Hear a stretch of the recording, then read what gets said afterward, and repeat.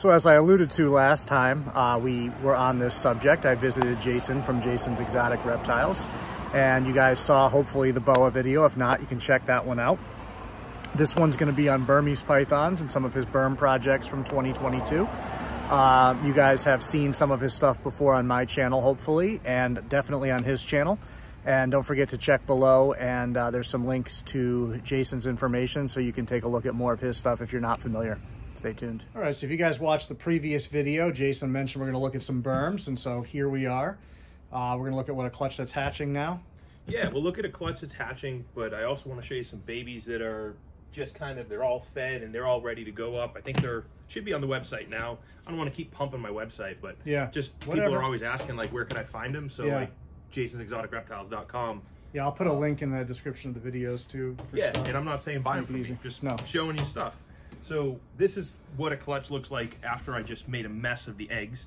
Uh, but we have all kinds of burm babies hatching. I cut these last night because I got anxious. There was obviously there were a couple babies that pipped, uh, and I have some pictures of that on my Instagram at some point somewhere.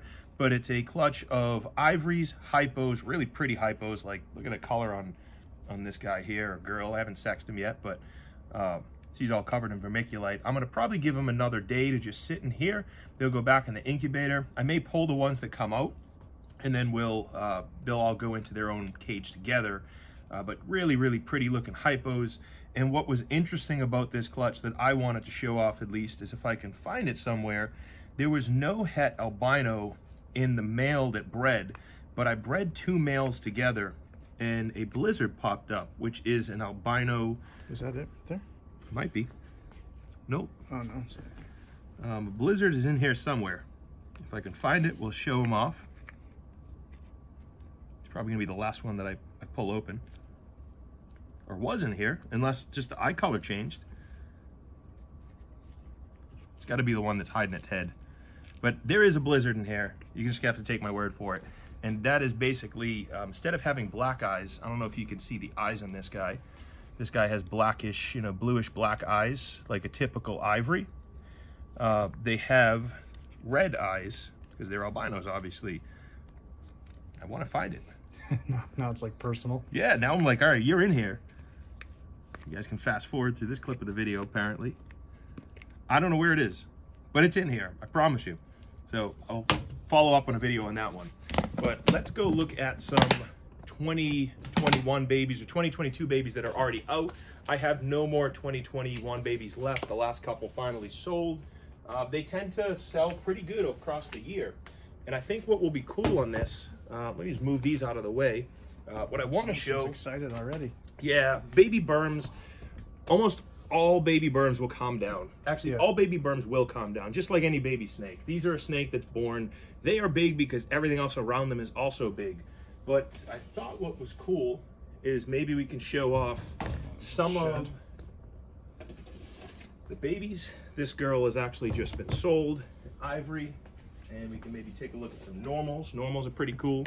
These are babies out of the egg. But what I think is kind of cool is some traits, even though they're heterozygous, which means that they don't show visually, some traits do show visually in babies. So green is one of those. This snake right here is likely het for green or patternless, depending on how you look at it. And uh, what that tends to do is it softens the snake up a little bit. It gives it this kind of a glow, and a lot of people will call it leopard.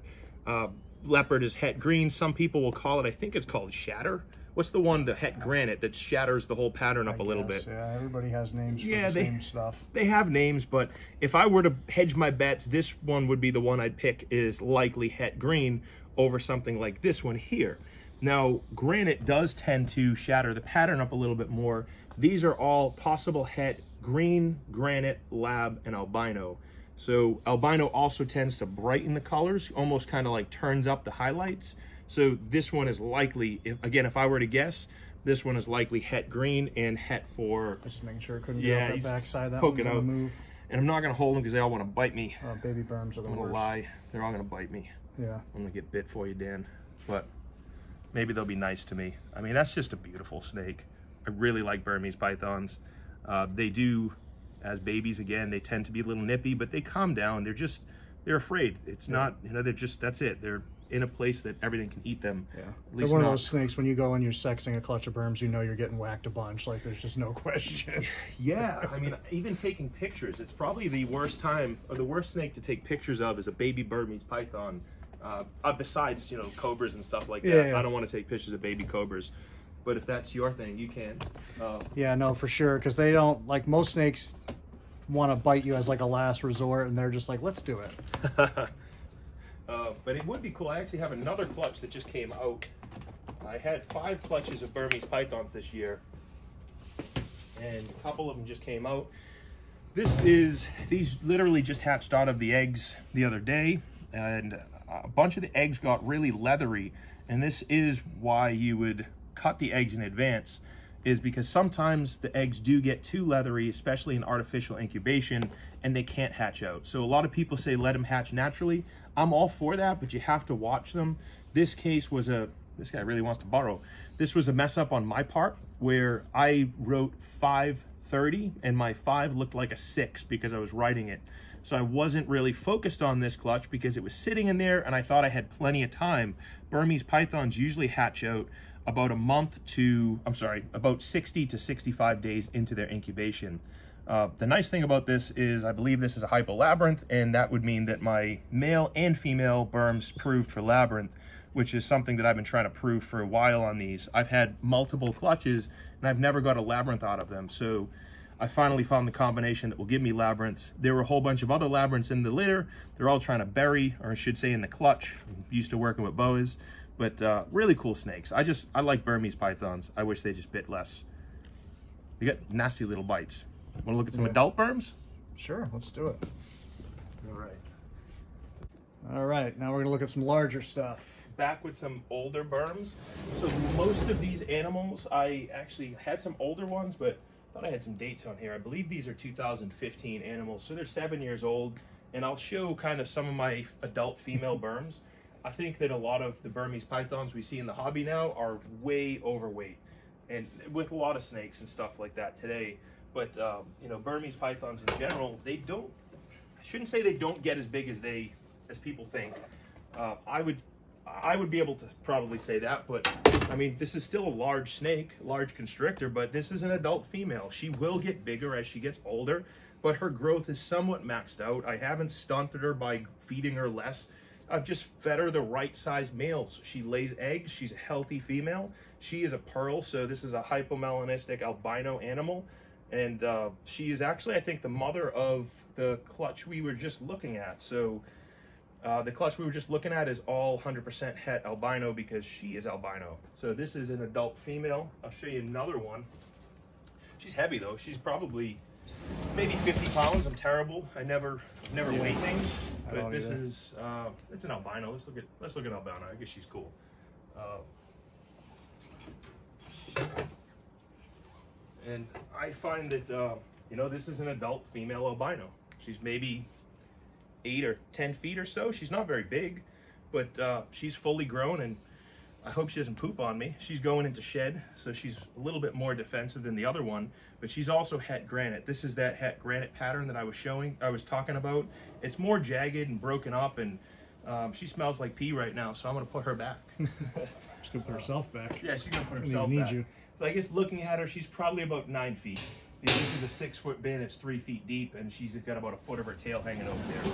So call it 10 foot snake. And I guess to polish it off, let's show a, uh, a blizzard. And this girl has not laid babies for me yet. She's been a little bit, uh, she was slow to take on to food, but the male that I have that is a, a blizzard, he is about the same size. So just to kind of give you a size reference, he's way on the other side of the room and on the top, but he's about this size. He's maybe a little bit more slender and uh, just a really beautiful snake. I mean, I, I really like ivories in general. I think they're cool. This one again is a blizzard, so this is the red eye version. If you kind of get in close, she is shedding, but I don't know if you can see those eyes. They're red instead of can. the black like we were looking at. Um, I do think that they tend to have, at least this girl here tends to have some vision problems. She doesn't see the food uh, unless I put it right in her face. So she's slow to take to it. But she's one of my favorite snakes as well. The first pearl that I pulled out is probably my favorite burm that I have. I've just had her. She's always been a really um, awesome snake, really calm, and she can make a really cool pet for people. A lot of people will disagree that Burmese pythons will make good pets, especially first-time pets. I, I made a video on that, and it's fine if others disagree. I think as long as you know what you're getting into and you are set up appropriately, you know how big they could get versus how big you hope that they get, and I think they can make good pets. But number one is you need to know what you're getting into. Just like anything, you wouldn't go out and get a dog unless you know what you're going to get into. Uh, there's large dogs and there's small dogs, and just because it's small doesn't mean it's easier to take care of. Yeah. Sometimes a small snake is way more difficult than a large snake, or the other way around. So I think it's important if you're getting into a burm, know what you're getting into. They can make really cool pets. Understand that babies can be a little bit more aggressive and defensive, but as they become adults, they can be really cool. Yeah, for sure. They, they calm down. Once they calm down, they're, they're pretty chill, and then it's just Yeah. killing a food response. That's about it. And honestly, if, I mean, you do blood python, so if Yeah. you're looking for something, you're not up to something as large as that. That's just over your capacity. It's a heavy snake. I'm standing here. It's hot in here. I'm Yeah. sweating. Yep. Blood python's perfect compromise. It's like Yeah. it's like the boa-sized Burmese python. Yeah. right? Yeah, no, they are, and they can be the same way too, where the babies can just be really, really, really big douchebags, and then they get they get better. But like everything, and I actually have a video coming out soon on that subject, with where people are wondering why their blood is so defensive. Um, I'm not sure when I'm going to post it, but it'll be it'll either be out by the time this video is up or coming out soon. But it gets into that, and most of it is how we are working with them, how we are keeping them. Yeah. Very little of it is actually the animal themselves. A lot of it is just how we are approaching and how we are keeping. And when they're content, they're a lot lot easier to work with. Yeah, I've seen sure. some beautiful blood pythons that were amazing. I held one today. I was over uh, Zach's house. He, he comes here, he works, he helps clean some stuff, and awesome T positive blood that was just super chill. Is it a blood Yeah. python or Yeah. short tail? Yep. I was No, getting those blood messed up. I'm not yep. the blood short tail guy, but I like them. We're gonna get you there. We're gonna someday. get you there. One day I'll have some, and if I get them, they're coming from Dan. There you go. So that was it. I don't know. What do you want? You, Yeah. That was it. You no, I think that's else? I think that's good. That's a good little little short video on some burms. So hopefully uh, you guys jump in the comments any questions you have. If you haven't checked out Jason's channel, make sure you do. You can see a lot more boa and burm content there for sure. Plus a lot more of Jason, and who doesn't want more of Jason? Right. know? Right. So Uh, we'll see you guys soon. Thanks, guys.